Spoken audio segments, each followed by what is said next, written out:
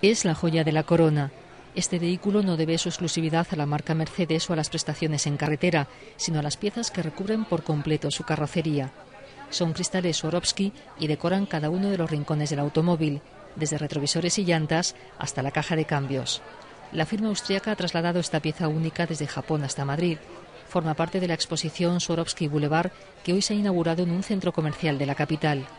Se exponen 100 artículos elaborados con este cristal que identificamos habitualmente con piezas de joyería. Sin embargo, la exposición deja patente que un material tan delicado puede adornar exclusivas botellas de champán y hasta objetos de buceo. No es habitual ver una guitarra eléctrica decorada con cristales diminutos, pero aquí la vemos convertida en otro artículo de lujo. También lo son estos auriculares de música. A su glamurosa decoración suman otro dato para los amantes de la exclusividad. Los utilizó la modelo Naomi Campbell en una gala de la firma austriaca en Londres.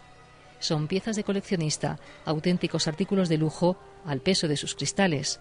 Están al alcance de la vista hasta el próximo 23 de octubre.